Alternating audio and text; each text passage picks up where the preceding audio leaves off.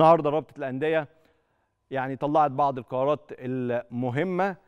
أولها في مباراة الأهلي والإسماعيلي فرض عقوبات مالية على النادي الأهلي بسبب السباب الجماعي لجماهيره خلال المباراة.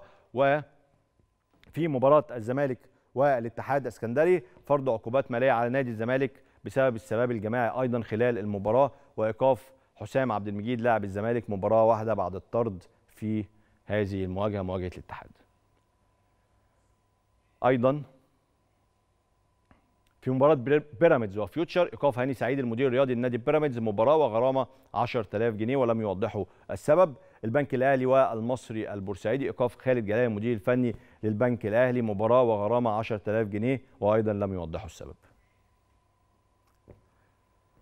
كمان في مباراة المقاولون وفاركو إيقاف محمود عبد العزيز لاعب المقاولون مباراتين للتدخل العنيف خلال المباراة وإيقاف كينج سوكاري لاعب فاركو مباراة واحدة وفي مباراة سموحة والجونة إيقاف عمرو طارق لاعب الجونة مباراة واحدة للطرد لمنع فرصة مؤكدة.